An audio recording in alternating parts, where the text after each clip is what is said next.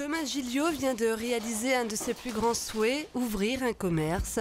Les fleurs et les plantes n'ont plus de secret pour lui.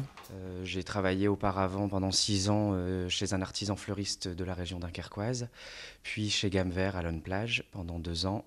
Et j'ai c'est une passion depuis tout petit, donc j'ai vraiment voulu euh, créer ce magasin pour vraiment créer un univers, mon univers, d'où le, nom un peu un peu proche, vraiment intime, le jardin de Vauban, euh, en rapport évidemment aussi avec la ville de Gravelines.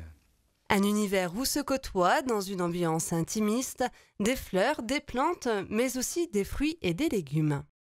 L'inconvénient, en fait, c'est qu'il faut drainer énormément de quantité pour avoir une rentabilité.